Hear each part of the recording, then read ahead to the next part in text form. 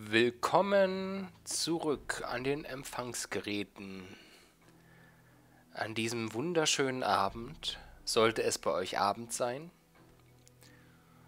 Und wir spielen weiter ähm, mit Jagged Alliance 2, Mod 1.13 und es ist inzwischen die 32. Folge. Ich habe ein wenig getrunken und ich hoffe, ich kann das trotzdem moderieren. Oder kommentieren. Ist vielleicht der richtige Begriff. Ja. Mal gucken, ob ich klarkomme. Bestimmt nicht. Ja, ich äh, bin gerade irgendwie voll raus äh, und weiß gerade gar nicht mehr, was so das letzte war, was ich getan habe.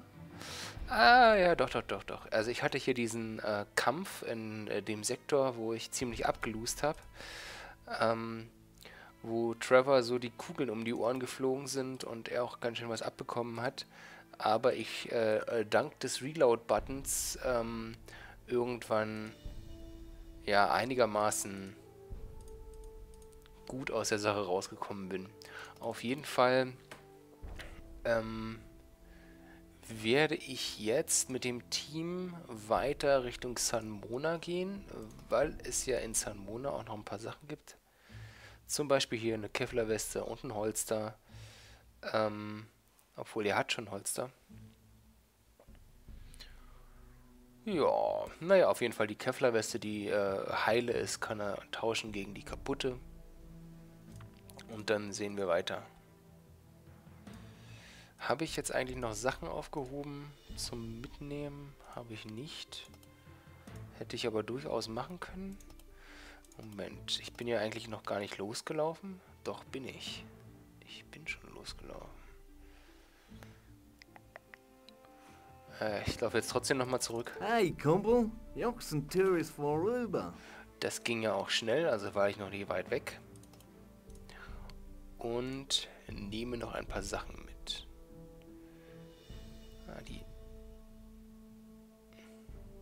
Die ist gar nicht verkehrt, diese PSM. Die hat nämlich sehr geringe AP mit 14. Und dabei eine ganz passable Genauigkeit und ganz passablen Schaden.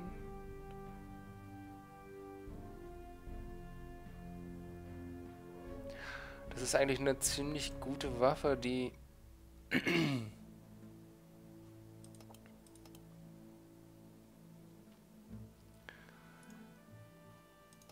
lädt die? Ach, die lädt die Munition. Und diese Munition habe ich noch in San Mona. Genau, 454er. Magazin. Genau, das ist die. Ja, also ähm, die PSM ist auf jeden Fall eine ganz gute Zweitwaffe mit sehr geringer AP. Sollte ich mitnehmen, denke ich.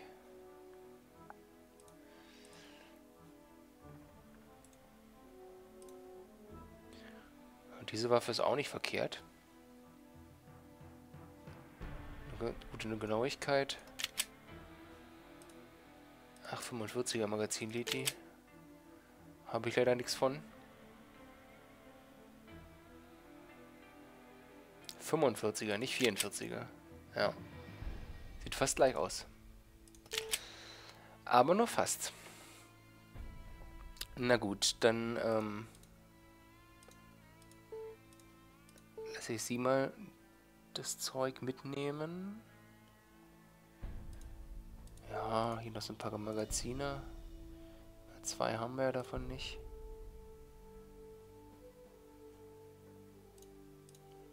Ist halt die drei noch mit. Dann... Ivan hatte noch, noch doch noch Platz.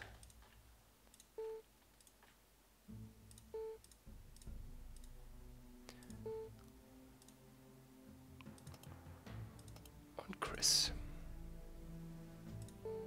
Gut, nehme ich alles mit.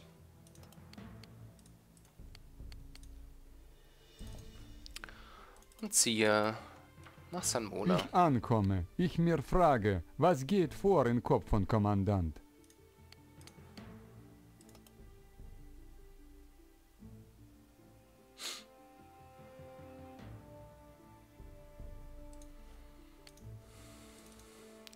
Das klappt jetzt nicht so recht.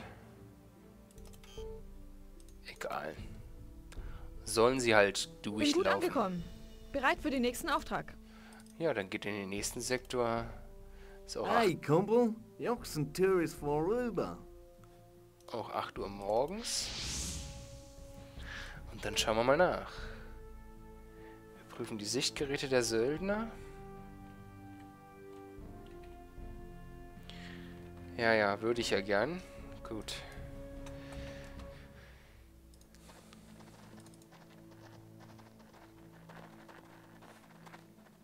Das ist eigentlich genauso leicht zu merken wie ähm, wie das mit den Backpacks. Und zwar Shift B ist Backpacks ähm, ablegen. Kann ich hier einfach mal machen. Shift B und dann liegen sie am Boden. Allerdings weiß ich, weiß ich nicht den Kom das Kommando für Backpacks wieder aufheben. Hm. STRG Shift F. Okay. Hat offensichtlich geklappt. Ähm, und das mit den Sichtgeräten ist äh, Shift N. Shift B ist, habe ich äh, dank eines Kommentars äh, gelernt, einfach zu merken, weil das äh, Shift im Sinne von wechseln oder ändern plus B wie Backpacks und ähm, Shift N für Nachtsichtgeräte ist ja eigentlich genauso einfach. Mit Shift im Sinne von N wie Du bist ja hier noch zum. Stammkunden. Ich wette, du bist hier, um Tony zu sehen, was? Er ist hinten. Ja, wir schauen mal, was Toni so im Angebot hat. Leider ist ja gerade Flo nicht dabei. Von daher kriegen wir jetzt hier nicht die Top-Preise. Zeig mir, woran du, Halt handeln. zeig mir, woran du Interesse hast. Sind ja immer noch die gleichen Waffen.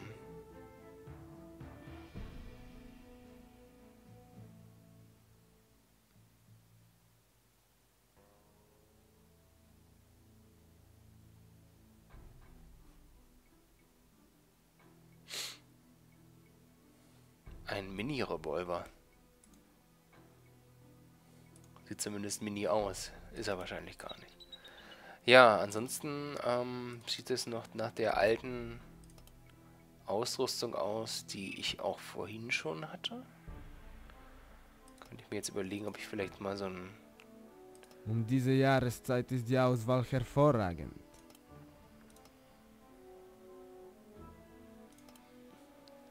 So Schalldämpferleiste. Hm, Vielleicht nächstes Mal. Ja, ich hole erstmal alle ran.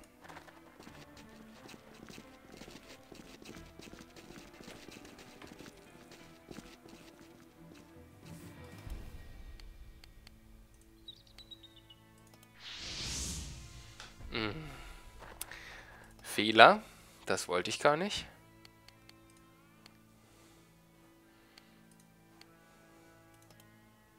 Ah, das wollte ich natürlich auch nicht. Ja, es, es ist nicht gut, ja. Nicht gut. ich mache lauter Fehler.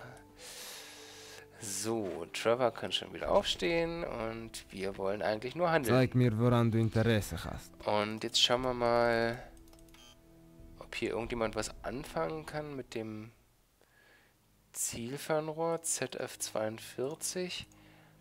Hm.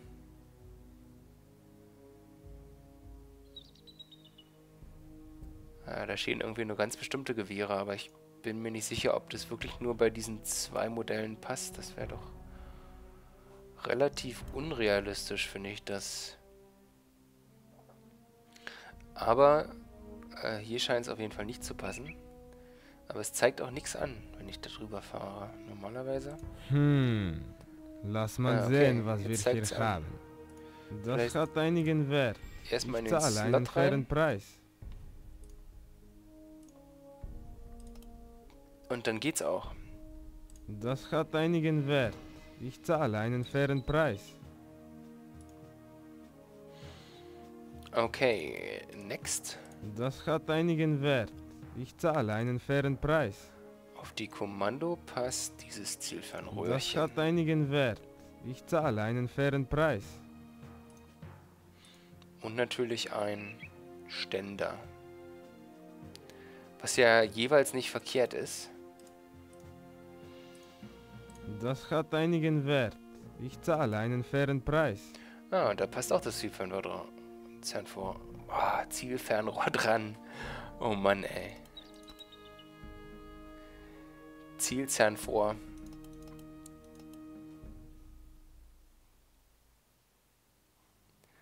Ich merke schon, das wird eine echt lustige Folge.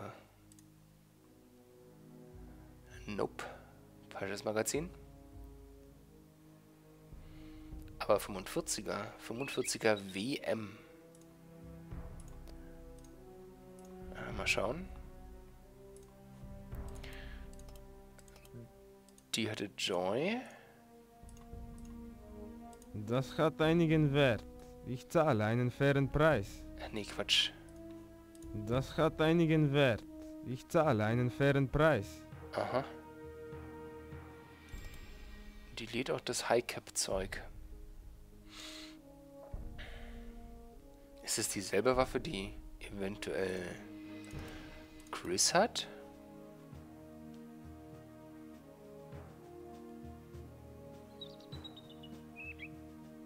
Colt M19 11 A1. Colt M19 11 A1. Ja. Aber die ist High Cap. Und die nicht. Das hat einigen Wert. Ich zahle einen fairen Preis. Mal so im Direktvergleich. Genauigkeit ist identisch. Schaden auch. Reichweite natürlich nicht.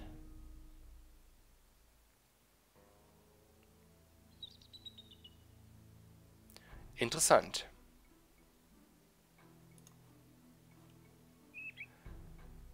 Interessant.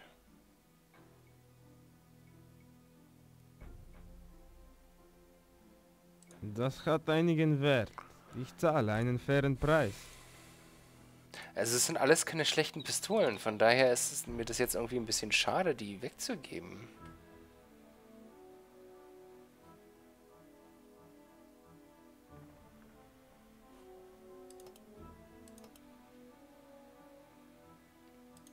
Vielleicht muss das zweite Team auch noch mit äh, einigermaßen guten Pistolen ausgerüstet werden. Ist ja wahrscheinlich auch so.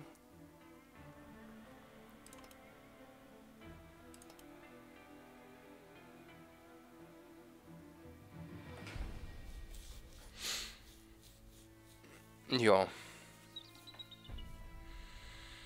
Von daher ist mir das jetzt echt unangenehm, da was zu verkaufen. Ähm, aber was ich machen werde, ist was kaufen. Naja, und vielleicht sollte ich auch die äh, ganze Munition verkaufen, die ich eh nicht brauche. Äh, die Hohlspitze wahrscheinlich nicht, die könnte ich auch noch brauchen. Ähm, Habe ich die... Genau. Das hat einigen Wert. Ich zahle einen fairen Preis. Hebt Ivan gerade noch auf.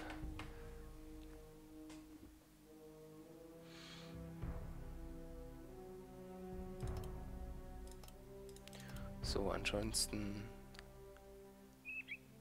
hat doch Joy... Nee, wer hat denn jetzt die Munition?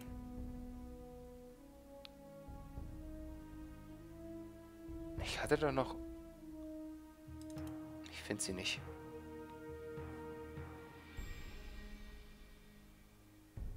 Das ist seine, das ist nicht seine. Die kann weg.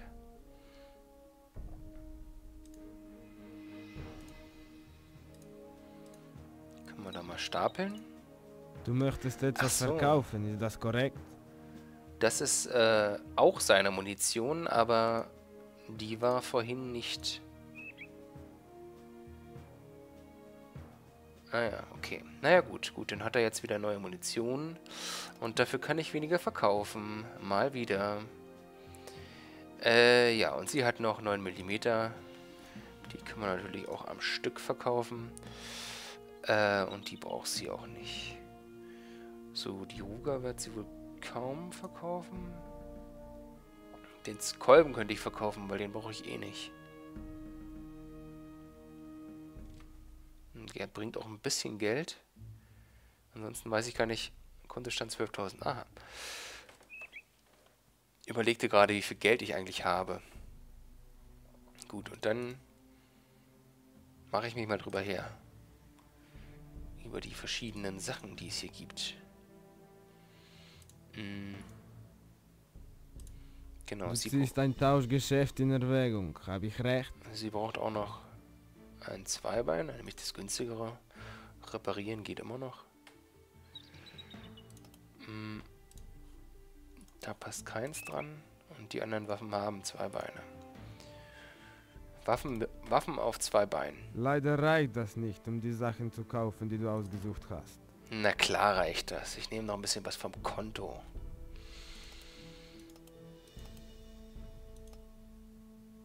Gut. Ich kaufe dies.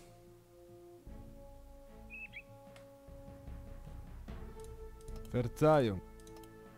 Leg es auf den Boden, bitte. So, als erstes Trevor. Der kriegt... Nee, der... Ist ja klar. Der kriegt das Zielfernrohr.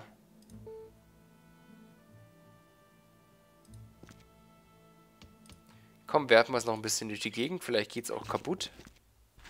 Das wäre dann ja ganz wundervoll. So. Bleibt all, bleiben alle Werte gleich, außer der Vergrößerungsfaktor, der sich verdoppelt. Das ist schön. So, Chris kriegt leider überhaupt nichts davon ab. Der hat nämlich schon sehr hervorragende Waffen. Ivan. Ivan. Ich bin mir nicht sicher, ob der diesen Schalldämpfer benutzen kann. Äh, Schalldämpfer sage ich schon. Dieses Hilfernrohr, nein, kann er nicht. Aber... Hä? Für wen hatte ich das jetzt vorgesehen?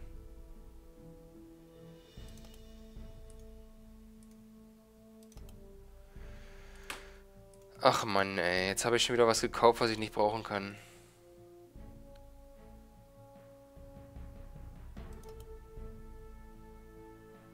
Na super. Das war natürlich äh, Geld rausschmiss. Unnötigerweise. Ach,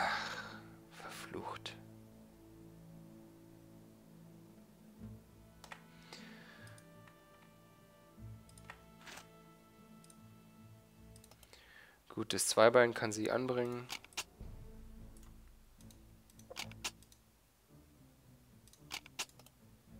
Ach, hier werden die diese Werte angezeigt.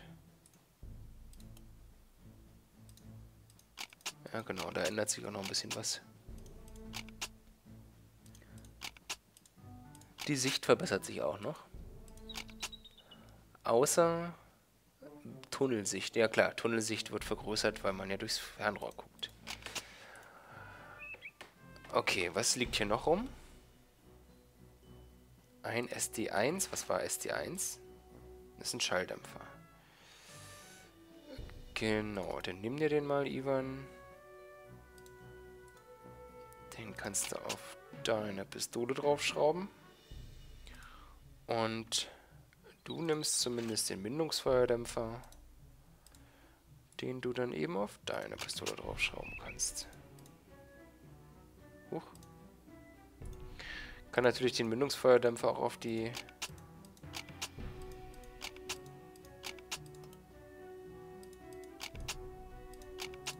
Ist da noch irgendwas? Ja, einfach nur kein Mündungsfeuer mehr. Ja, das ist natürlich dann äh, einsatzabhängig, wie man was braucht. So, und jetzt dieses scheiß Zielfernrohr, was ich aus Versehen gekauft habe. Zeig. Hm, das hat. Das Ja, Geschäft ja. ist perfekt. Noch etwas? Gar nicht wissen, wie viel Geld ich jetzt dadurch verloren habe. Ah, so 200. Tja, tja, tja. Sehr gut. Selbst schuld, selbst schuld. Ah, Das könnte ich im Grunde auch verkaufen. Aber vielleicht finde ich ja später nochmal ein Gewehr, wo es passt. So, dann werde ich mal in den Sektorinventar schauen.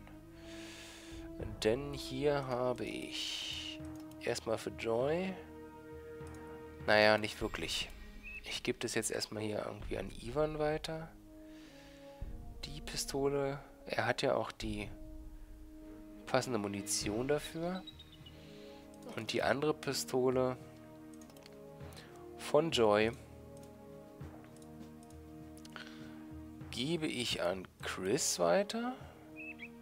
Ach Gott, der hat auch noch eine... Ach nee, ich habe Ivan und Chris verwechselt. Die gebe ich an Ivan weiter und ihm auch die Munition. Dann kriegt der Trevor die heile Kevlar-Weste getauscht. Und den Holster braucht er gar nicht mehr, weil er schon Holster hat, einen passenden. Ja. So sieht's aus. Trevor braucht unbedingt irgendwie einen, einen Sack, wo er was reinpacken kann. Okay. Ja, der Trupp ist soweit in Ordnung. Und ich denke, die können jetzt erstmal schlafen. Ira auch. Ira arbeitet wieder. Und Chris auch. Was mache ich jetzt mit denen? Die sind ja bis auf Trevor so gut wie fit. Hm. Betrieb. Pause. Ich weiß gar nicht, was Pause bringt. Bringt es Erholung? Keine Ahnung. Obwohl, irgendwann müsste er hier mal neue Ware bekommen. Ach, die sollten noch nicht alle zurückgehen. Und die sollen auch nicht alle wieder hingehen. Ach Gott, ey.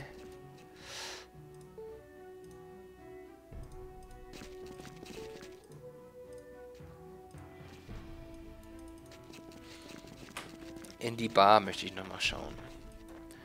Weil man weiß ja nie, wer so da ist.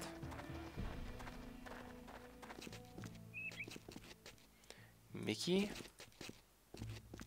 und Frank. Na gut.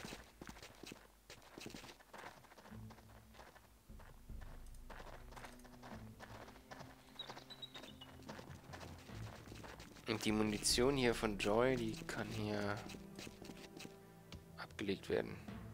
Das war doch jetzt schon wieder gar nicht die Munition von Joy. Doch. Warum legt die... Warum hat die jetzt Chris abgelegt? Alles sehr verdächtig. Muss man mal sagen. Gut. Dann können die eben auch noch ein wenig Zeit verbringen. Beim Trainieren von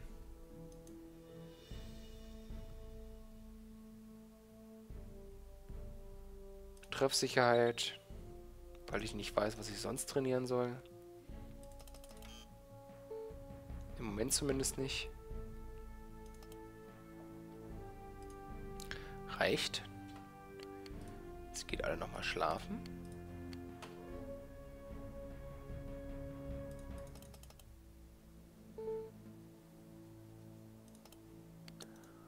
Wie sieht's aus bei Trevor? Okay, warte ich noch eine Stunde.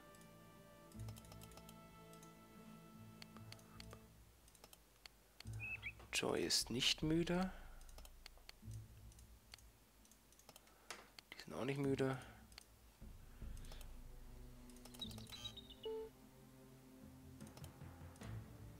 Okay. Trevor ist so gut wie voll. Dann äh, werde ich jetzt...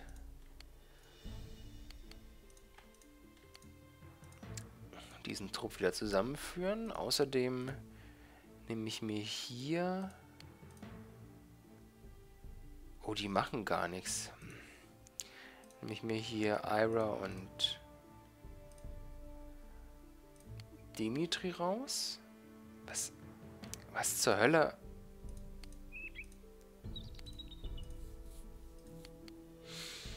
Ich mache hier nur Mist. Ich mache hier wirklich nur Mist. Lasst mich ein wenig über mich selbst fluchen. Okay. Wie lange brauchen die? 4 Stunden und 32 Minuten. Und die hier brauchen... Halt, nee, ich muss ja hier hin. 5 Stunden und 11 Minuten. Dann brauchen die logischerweise lang nicht so lange. Aber ich könnte sie ja einen Umweg laufen lassen. Wenn ich jetzt zum Beispiel hier lang laufe. 5 Stunden und 2 Minuten. Wenn ich so laufe, dann noch viel länger.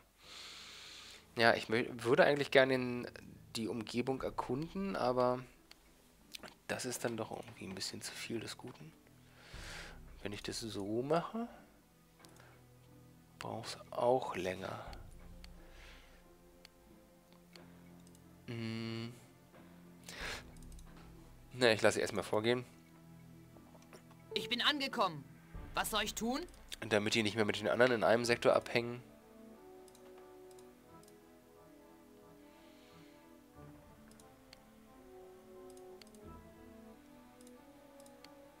Und die anderen, mit denen werde ich jetzt hier mal in Ruhe aufräumen. Ja, was hätten wir denn da? Zum Beispiel ein Kevlarhelm, den wir mal tauschen können.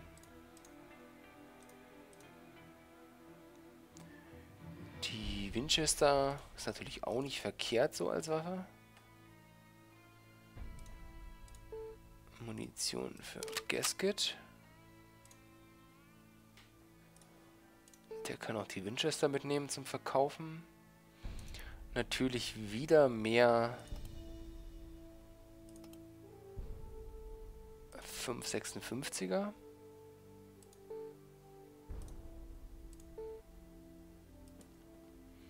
Eine Trommel. Noch eine Trommel. Finde nichts mehr zum Ablegen.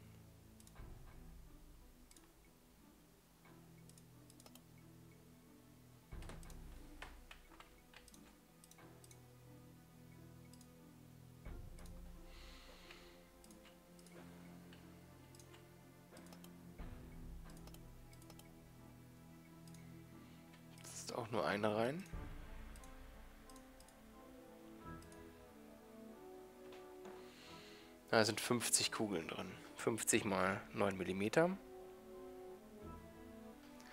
Und äh, bei der weiß ich gar nicht, wofür die ist. Wahrscheinlich für ein MG. Oder für die? 762er mal 25.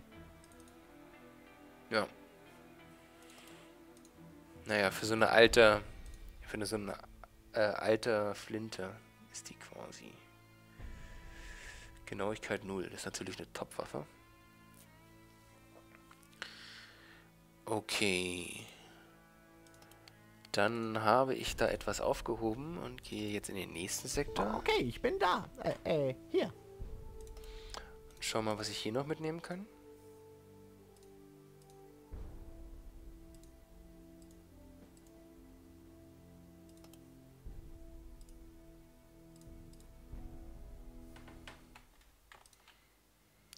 Noch mehr 9mm Munition. Zum Beispiel. Auch Hohlspitz. Haben schon alle Kevlar-Westen? Ja.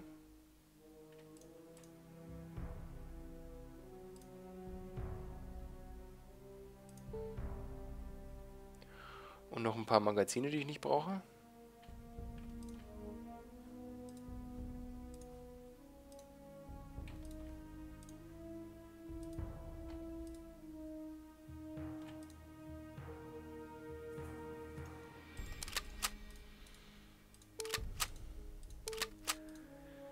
Ein bisschen umkonvertieren, dann passen die hier besser. Passen die hier besser in die Umgebung.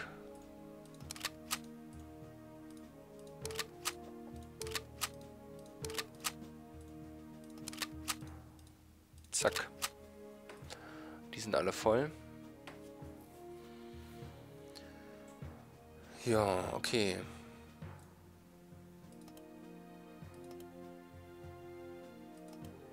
Soweit, so gut.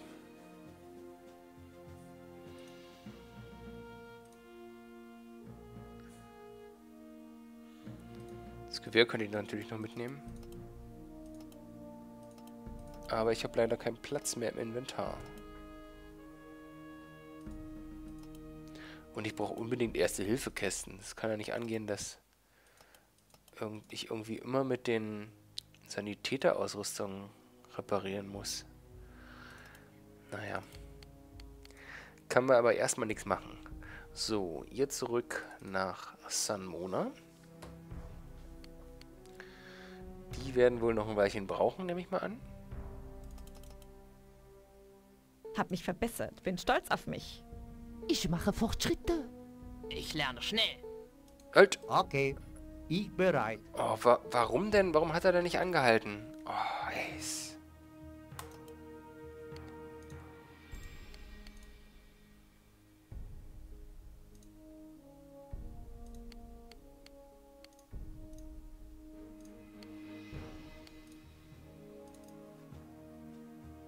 Ich ankomme. Ich mir frage, was geht vor im Kopf von Kommandant? Äh, der Kopfkommandant möchte, dass ihr hier eine Runde schlaft. Jetzt hier. Was tun? Jetzt möchte der Kommandant äh, die anderen äh, beiden dem Team 1 zuordnen. Und auch ins Bett schicken.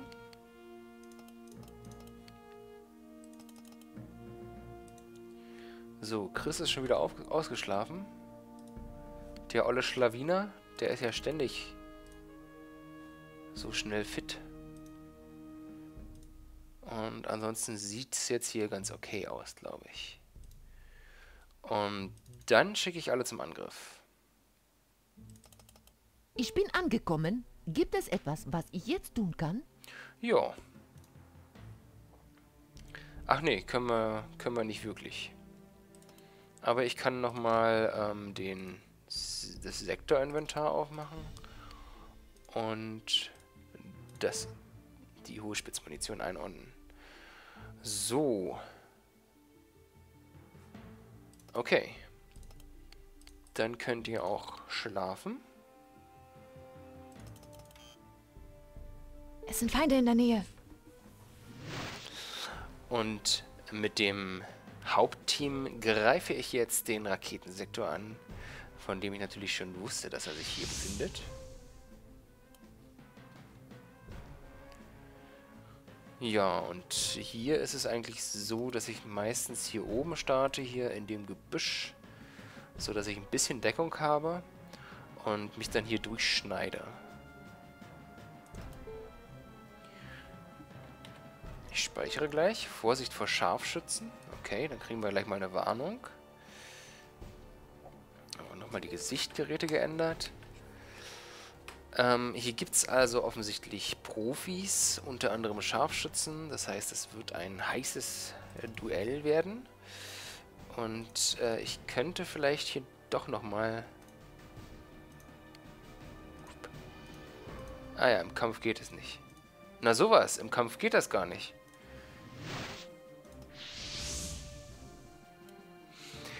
Na gut. Dann haben wir jetzt in dieser Runde nur ein bisschen Logistikmanagement gemacht. Und äh, in der nächsten Folge soll es dann losgehen mit dem Angriff auf dieses, diesen Raketensektor. Und da wird es wieder spannend. Und ich hoffe, ihr seid dann wieder dabei. Bis zum nächsten Mal.